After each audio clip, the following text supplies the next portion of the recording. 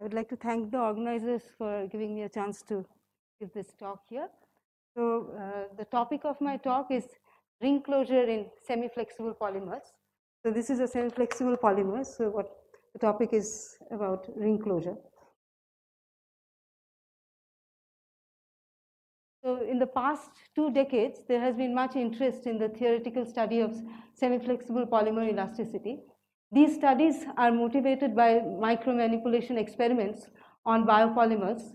In particular, in recent years, there have been experiments involving stretching DNA molecules, which give us information about the bend elastic properties of DNA.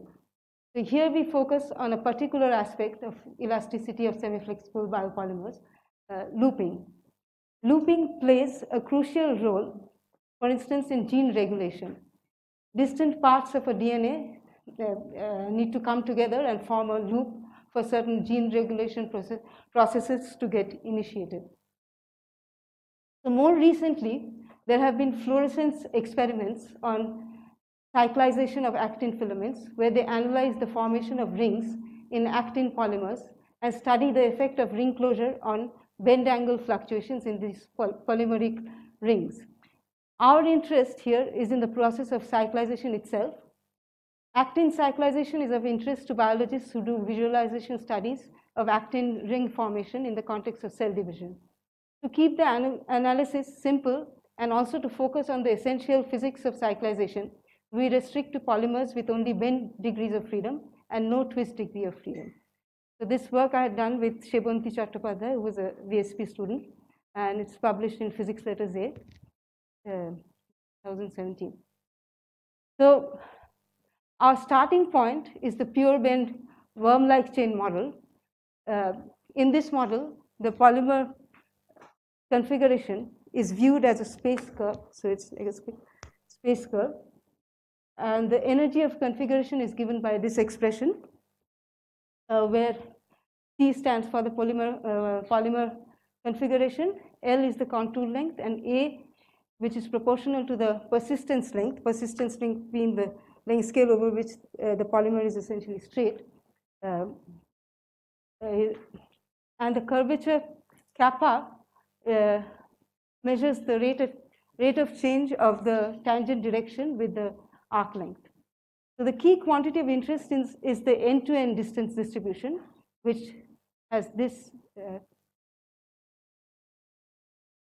this form. Notice the appearance of the delta function here, which uh, picks out polymer configurations with end-to-end -end distance equal to r, and the appearance of the Boltzmann factor, where uh, you see the configurational energy coming in.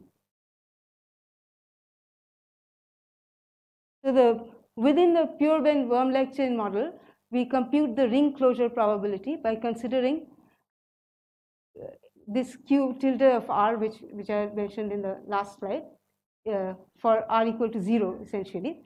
And uh, here is a plot of q sub 0 versus beta, which is the scaled contour length. And um, the thing to notice here is that the ring closure probability gets suppressed for both uh, the rigid end and the flexible end. And it peaks around the intermediate range of rigidity, for which uh, beta is approximately around 3. So this would correspond to a configuration of something like this, where you can think of each of the edges being uh, like the persistence length. And this is indeed quantitatively matches with DNA uh, experiments with fluorophores and quenchers. And uh, this, is a, this is the intermediate range of flexibility gets picked up is a sign of an optimal competition between energetic and entropic effects. And uh, I just want to look back a little bit. Uh, in 2002, uh, we had a paper where we had noticed a curious double humped feature of the end-to-end -end distance distribution vector for uh, the precisely this intermediate range of rigidity. And this has been also corroborated by uh, simulation results from uh, Abhishek Dhar and Debasish Chaudhuri's simulation.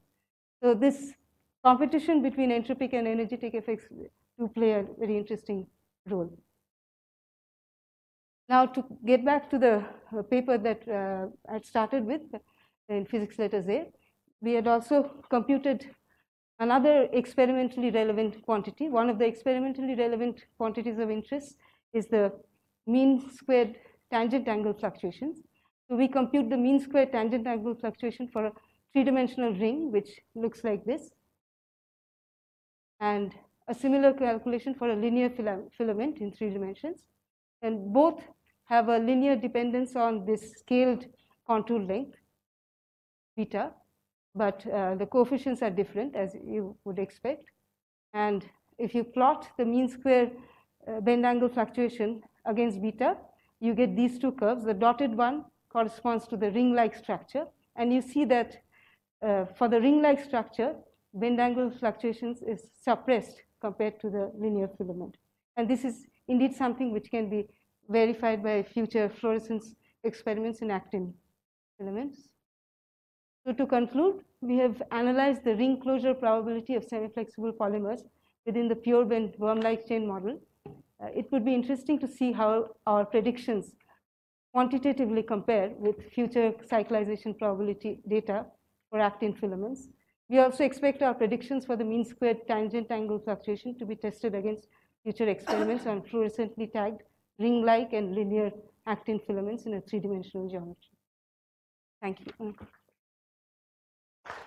Uh, so any questions? We have a lot of time, almost five minutes for question.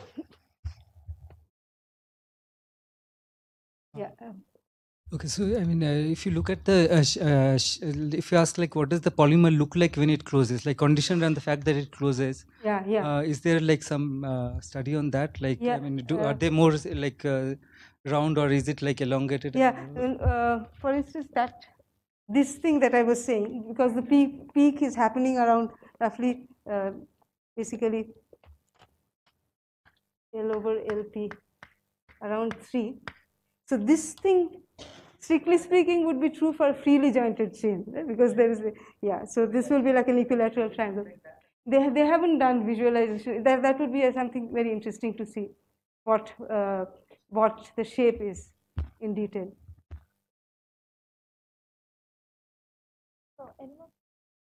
Questions? Uh, yeah.